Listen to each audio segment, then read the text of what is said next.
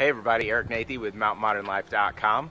Not sure if any of you guys have dealt with mice or you're currently dealing with a mice problem in your RV, but uh, that's something Katie and I have been uh, dealing with here for a little bit. Now, last week we'd come out with a video basically letting you know that we had a mouse problem. We were figuring out the best way to conquer it and really take take a hold of it. And what we wanted to do is we wanted to keep it as natural as possible, but create more of a deterrent that actually kept the mice out and not even coming in the RV versus catching them once they got in or um, getting them in traditional mouse traps. Um, so last week I had mentioned we were going to go ahead and we were going to test 100% pure mint oil, and for us it was actually really convenient because my uncle and uh, my family has actually been farming mint oil since 1953. So I talked to them and they had a little bit lying around. Um, so that's the approach we went with.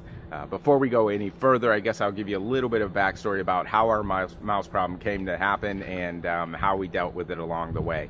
So when we got up here, it was about three days after we had been here in Wisconsin where we found our first mouse. And that night we were a little worried because we actually heard him up in the walls kind of working on some of our wires. So we went out and we grabbed a couple mouse traps and then uh, we ended up starting catching them basically on a daily basis or at the very most or very least every other day. Um, so we went probably about a three weeks uh, at that pace, um, and we tried the bounce sheets and various other options in order to keep the mouse out or mice out, and it wasn't really working. And then that's when we went over to my uncle and uh, started deciding to test out the mint oil. Um, so last week after the video, we came out and we distributed mint oil all around the RV. Uh, we did it underneath near the engine, also in all of the storage bays that have holes where mice could possibly get in.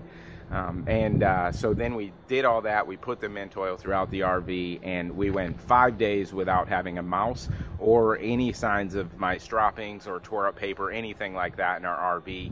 Um, and as far as inside the RV, we've had no signs of mice uh, since we did that. But on the fifth day, we did end up catching a mouse over here in our water and electric bay. Now, I started thinking about it and I was like, that's weird. We were getting them every other day and uh, we haven't had any signs of any mice anywhere else in the RV. Why would there have been one in that bay? And then I started thinking about it. And last week, when I actually put the mint oil into the RV and all over the place, this last section, I was actually getting lower in my container of my mint oil, and I had one cotton ball left, and I was like, well, this should do the trick, and I just put a little bit on there and threw it in there. Now, looking back on it, hindsight's 2020, I noticed that in all the other bays and inside the RV and by the engine, I had put uh, quite a bit more mint oil in those sections than I did in this electrical bay.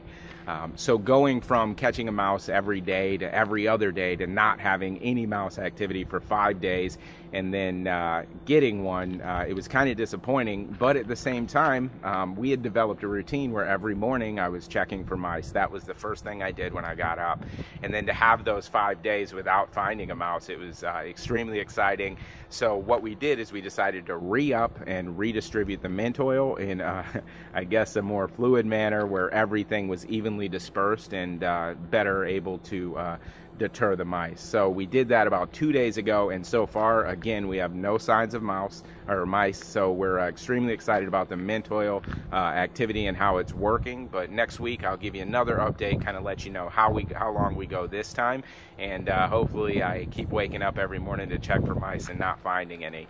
Um, also, too, a little side note, want to let you know I am working on a post um, about this that we're going to be putting up over on mountainmodernlife.com. That's going to kind of highlight how much mint oil we used, how many cotton balls, um, and really the approach we took in order to uh, use this method to deter the mice from entering the RV in the first place.